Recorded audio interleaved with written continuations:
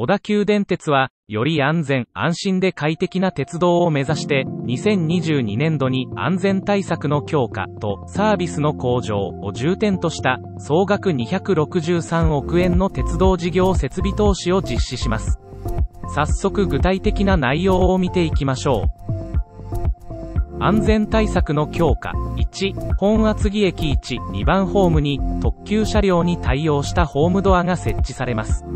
引き続き1日の利用者数10万人以上の駅に優先して設置される方針で設置計画のある駅には町田相模大野海老名本厚木3、4番ホーム中央林間大和があります。新百合ヶ丘と藤沢は大規模な駅改良工事に合わせて設置を計画しているようです。2、橋梁の耐震補強。町田相模大野間、渋沢、新松田間の橋脚をより強固なものに耐震補強されます。3、受変電設備の更新。列車や鉄道施設への安定した電力供給とリスク低減のため、三宮橋、海老名、渋沢変電所の受変電設備の更新が開始されます。サービスの向上。1、最新の通勤車両5000型の代替新造。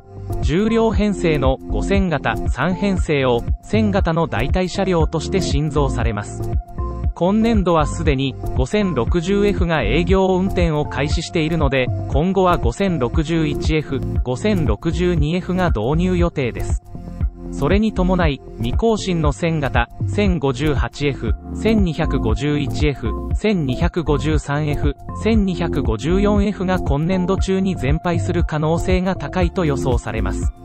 2、噂されていた3000型のリニューアルです。6両編成の3000型3編成がリニューアルされます。省エネルギー化が図られる制御装置の搭載やオイルフリーコンプレッサーへの更新等により環境面に一層配慮した車両になるようです。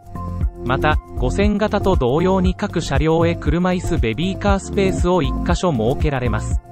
リニューアル後の使用が気になりますね。3中央林間駅の駅舎改良工事。昨年度、集中緩和のため東口改札口を新設しており、引き続き2024年度竣工に向け、ホームドア整備のためのホーム改良工事やトイレの改修工事が実施されます。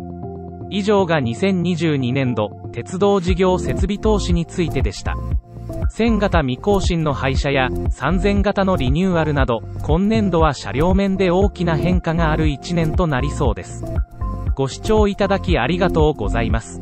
チャンネル登録よろしくお願いします。